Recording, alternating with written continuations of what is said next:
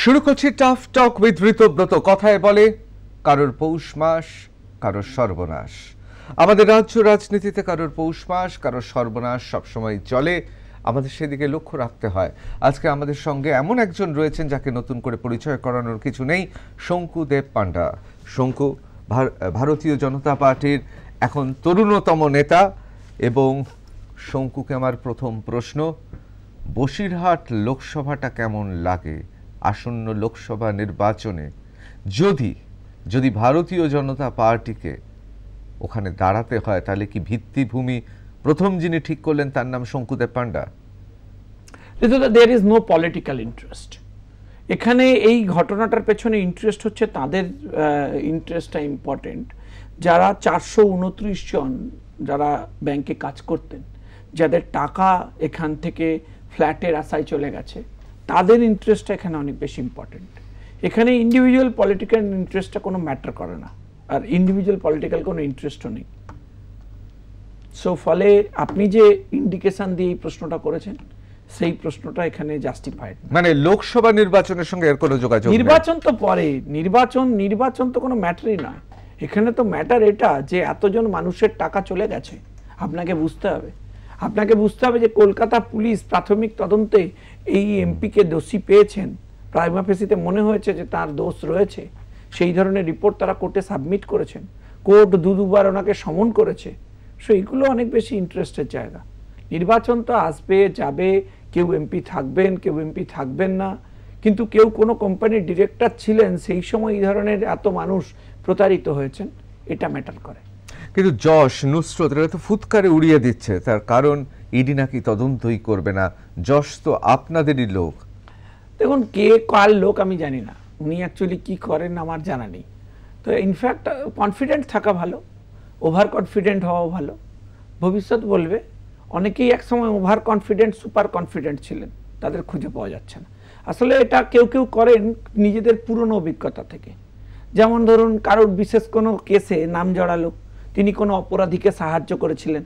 তারপর তিনি কেসটা কোনো না কোনোভাবে আশ্চর্যজনকভাবে ম্যানেজ করেছেন। যে সেকশানে ধরুন ওয়ান টোয়েন্টি বিতে তাকে হ্যাঁ, তার এগেনস্টে চার্জশিট দেওয়া উচিত ছিল সেটা হয়নি। তো ফলে তিনি মনে করছেন যে সব ব্যাপারটা একই রকম হবে। অনেকে এটা ভুলে যাচ্ছেন। ভুলে যাচ্ছেন এটা যে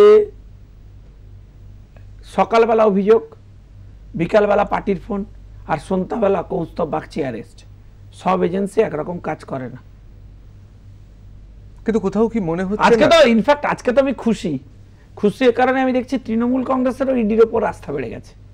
আমরা দেখছি তৃণমূলের লোকেরা গিয়ে ইডিতে কমপ্লেন করছে। নিজেদের এজেন্সির ওপর আর ভরসা নেই। বলে ইডি একমাত্র রেমেডি দিতে পারবে প্র্যাকটিক্যালি দিতে পারবে। কারণ ইডির ওয়ার্কিং ক্যাপাসিটি আছে। ইডি চোখের সামনে দেখছে আপনি ওদের টাকা নিয়ে ফ্ল্যাট কিনেছেন। সেই ফ্ল্যাটের টাকার ডিরেক্ট ফিনান্সিয়াল ট্রানজাকশন হয়েছে। তো সেই ফ্ল্যাট তো আগে বাজেয়াপ্ত করতে হবে। তার টাকা এসে পৌঁছবে। তারপর সেই টাকায় যাদের টাকা গেছে তাদের মধ্যে ডিস্ট্রিবিউটেড হবে। কমন ব্যাপার। এটা করবার ক্ষমতা একমাত্র ইডিরই আছে। ইডি ক্যান ডু ইট কিন্তু লোকে বলে ইট মারলে পাটকেল খেতে হয়। আপনি বলতার চাকে আপনি ঢিল মারলেন কাঠগোড়াতে লকেট চ্যাটার্জি। তার বিরুদ্ধে অভিযোগ করছেন তুলসী সিনহা রায় তৃণমূল কংগ্রেসের সল্টলেকের নেত্রী। দেখুন তুলসীদি তার কাছে কি প্রমাণ আছে আমি জানি না কি এভিডেন্স আছে জানি না। নিশ্চয়ই দিয়েছেন তদন্ত হবে। তা আমি যখন তৃণমূল কংগ্রেসে ছিলাম আমাকে আমিও তো তদন্ত ফেস করেছি। আমার বিরুদ্ধে কোনো অভিযোগ হয়নি। সব প্রণোদিত তদন্ত হয়েছে। হয়েছে? তদন্ত তো আমরা আমরা কি ভয় পাই নাকি? আমাকে পাঁচবার ডেকেছে পাঁচবার গেছি তদন্ত ফেস করেছি। তো কি যায় আসে অবশ্যই। দশ বার ডাকবো এক সেকেন্ড এক সেকেন্ড। দশ বার ডাকবে তদন্ত ফেস করব। কি যায় আসে এখন মুশকিল হচ্ছে কে সব বুদ্ধি দিচ্ছে তৃণমূল কংগ্রেসকে? আমার শেষন্য হাসি পায় আমি দেখলাম যে মাননীয় মুখ্যমন্ত্রী সেদিনই বলেছিলেন যে একজন এমপির এরকম খবর পাওয়া যাচ্ছে, তার ব্যাপারে তদন্ত করতে হবে। এখন শত্রুরা কি বলছে? বলছে, আমার একটা কথা বলে, শুনুন, আমি সুযোগ পেয়েছি বলে এক মিনিট বলে নেব। চন্দ্রগুপ্তের রাজসভায় বিশিষ্ট মানুষদের নবরত্ন সভা তৈরি করা হতো, এ এনে তারা রাজাকে সুউপদেশ দিতেন, বিভিন্ন বিষয়ে। সেই উপদেশ নিয়ে রাজা চলতেন। রাজা ভালোভাবে রাজ্যপাট সামলাতেন। এখন মাননীয় মুখ্যমন্ত্রীকে কারা উপদেশ দিচ্ছেন সেটা নিয়ে আমি সন্দেহ প্রকাশ করছি। কারণ এই এজেন্ডায় যে ইস্যুটা, ইস্যুতে ছিল না, সেই ইস্যুটা উনি এনে দিয়েছেন। এই এজেন্ডায় কোথাও আলোচনা হচ্ছিল না রোজ ভ্যালি নিয়ে। এখন রোজ ভ্যালি নিয়ে আলোচনা হতে শুরু করলে লোকে বলবে, এক সময় ওনার মন্ত্রী এখন হয়েছেন বাবুল সুপ্রিয়, বলেছিলেন রোজ ভ্যালি বিস্তার লাভ করুক। তখন তদন্ত হয়েছে কি হয়নি জানি না, এখন আবার তদন্ত হবে। এজেন্ডা আসবে। এখন যখন যে ইস্যুটা ইস্যু ছিল না সেই ইস্যুটা উনি তুলে নিয়ে চলে এলেন। এখন লোকে বলছে যে কুণাল ঘোষ এক সময় যা বলেছিলেন সেগুলো নিয়ে তাহলে তদন্ত হওয়া দরকার। এখন মুশকিল হচ্ছে যে দেখুন আপনি উচ্চ পদে আসীন আপনার একাধিক উপদেষ্টা রয়েছেন। এখন তারা কি উপদেশ দিচ্ছেন আর সেই মতো তুলসীদিরা কি করছেন তার এফেক্ট হচ্ছে। এখন লকের চট্টোপাধ্যায় তো প্রকাশ্যে বলেছেন যে আমাকে চারশো বার ডাকবেন মানে আপনি বলছেন। শঙ্কুদেব পান্ডা চলে আসার পর তৃণমূল ভবন ছেড়ে দেওয়ার পর তৃণমূলে বুদ্ধি দেওয়ার লোকের সংখ্যা কমে গেছে। দেখুন, এত বুদ্ধি দেওয়ার মতো ধৃষ্টতা আমার ছিল না। আমার যা ছিল, আমি পরিশ্রম, তখন দল করবার সময় পরিশ্রম করেছি, কাজ করেছি, কিন্তু আমি নিশ্চয়ই নুসরত জাহানরা যা দিতে পারছেন আমি দিতে পারিনি। তা যদি আমি দিতে পারতাম, তাহলে আমি সাসপেন্ড থোড়ই হতাম। ওনারা সাসপেন্ড হচ্ছেন, ব্যবস্থা হচ্ছে পার্টিতে। পার্টির তো নীতি থাকবে, আদর্শ থাকবে। হয়েছে অ্যাকশন আরে ভাই, police, Kolkata police I appreciate Kolkata police. এবং কলকাতা পুলিশের ইনফ্যাক্ট করারও কিছু ছিল না অ্যাকর্ডিং টু দ্য ল কারণ there is a clear financial transaction বেরোনোর জায়গা ছিল না। তো তারপরে কলকাতা পুলিশ এই কঠিন পরিস্থিতিতে বলেছে যে ভাই, উনি দোষ করেছেন। বা ওনার প্রাইম অফিসি এস্টাবলিশড হয়েছে এই কানেকশন এই কেসে তো এখন যখন এস্টাবলিশড হয়েছে তো তখন তো পার্টি ওনাকে জিজ্ঞেস করবে ডেকে যে ভাই তুমি এই কাণ্ড ঘটিয়েছো কি ব্যাপার তোমার বক্তব্য তোমায় তুমি আজ রেজিগনেশন দিয়ে দাও তোমার রাখব কেন? অবশ্যই। আমি এবার একটা অন্য গেছেন প্রসঙ্গে আসছি। আমি কোনোদিন আমি বসিরহাট এবার বসিরহাট গেছেন? কোনোদিন বসিরহাট পৌঁছেছেন? বসিরহাটের বসিরহাটের তৃণমূলের। শুনুন না বসিরহাটের তিমনির মাথা থেকে শুরু করে শুনুন না বসিরহাটের তৃণমূলের নেতাদেরকে জিজ্ঞেস করবেন কষ্টের কাহিনী। সারা বছর খেটেছে মারামারি করেছে গন্ডগোল করেছে সিপিএম এর বিরুদ্ধে লড়াই করেছে আমাদের বিরুদ্ধে লড়াই করেছে। আমরা তো ওখানে জায়গা পাইনি যে এক একটা বিপ্লবী বীর তৈরি হয়েছে, গুন্ডা বাহিনী, যাই হোক সে যা করেছে করেছে। তো তাদের পলিটিক্সে তাদের এক্সপেকটেশন কি? যে তারা এমপি হবে, তারা তাদের এলাকার কথা বলবে। এখন যখন তাদের এলাকায় গন্ডগোল, ঝামেলা, অসুবিধে, উন্নয়ন নেই, তখন আমরা দেখছি যে তাদের এমপি টিকটকে ব্যস্ত রয়েছেন।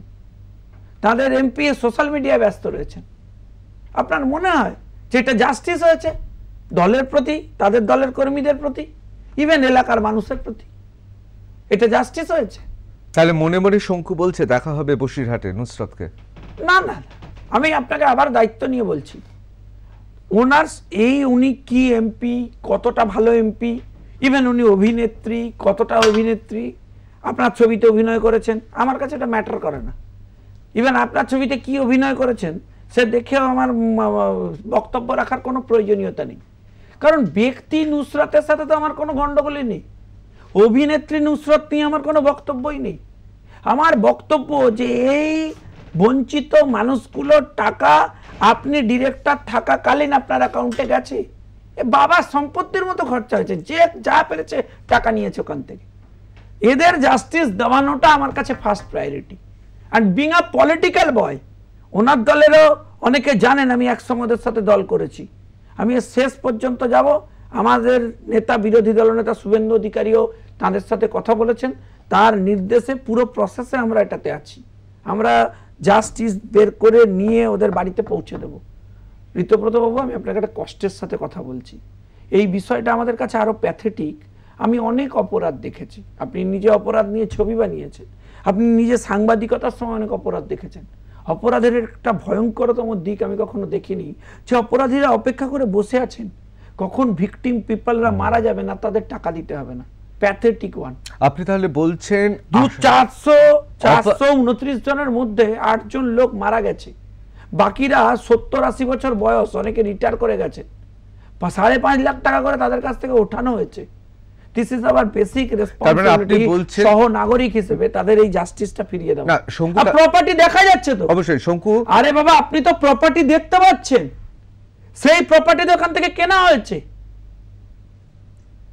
সেই প্রপার্টি বেচে টাকা উদ্ধার করে দেবে কি অসুবিধা শঙ্কু আমি একটু একটু জানতে চাইছি তাহলে কি বুদ্ধি দিচ্ছে আমি জানি না।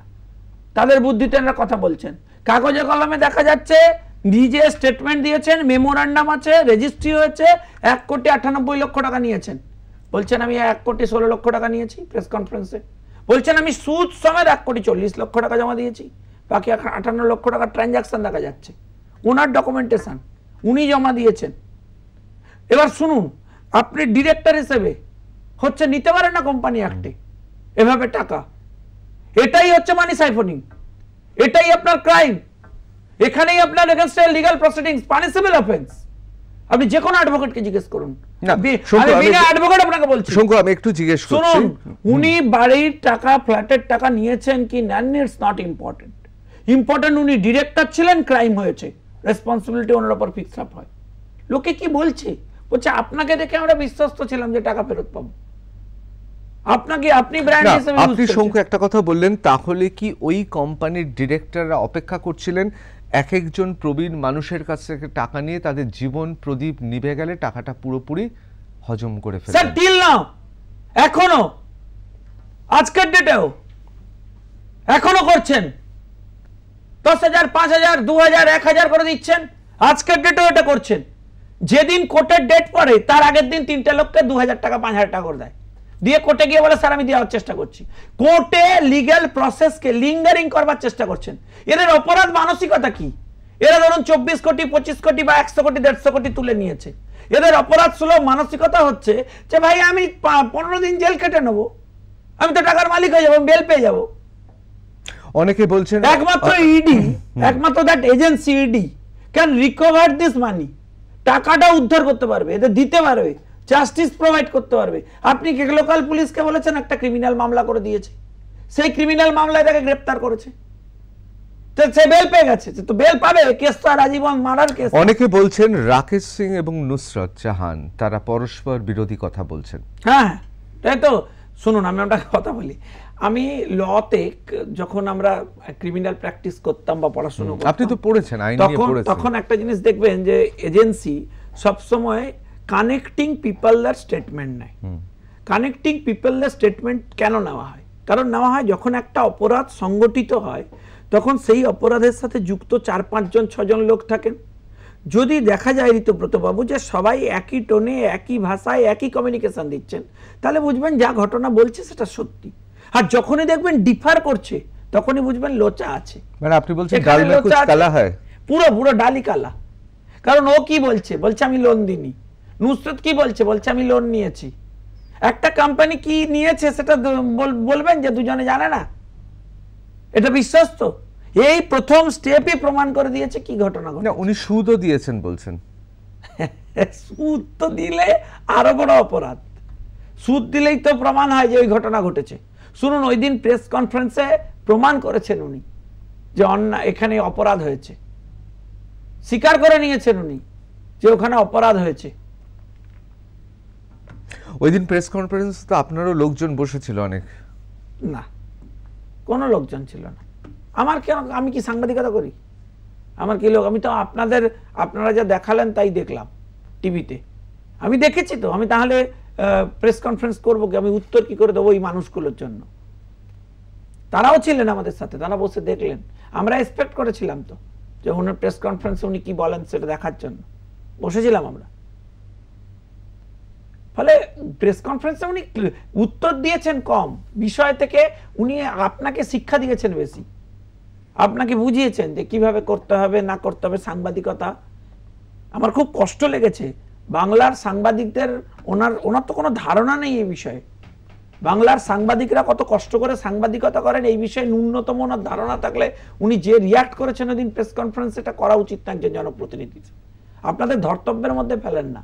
এই যে আপনারা আলোচনা করছেন, উনি মনে করেন যে ও শুধু ওনার টিআরপি আছে বলে জন্য আপনারা আলোচনা করছেন। উনি জানেন না যে ওনার বোঝা উচিত যে দাউদ ইব্রাহিমেরও যে টিআরপিটা এখন আছে এটা ওনার আছে। ক্রাইমটি, ক্রাইমে ওনার টিআরপি বেশি হওয়াটা উনি মনে করেন যে ওটা ওনার পক্ষে favourable this is a concept কি করবেন? একজন এমপি তিনি দাঁড়িয়ে বলছেন যে তার টিআরপি আছে, তাই আপনারা গল্প বানান, আপনারা আলোচনা করেন। আপনি ভাবুন।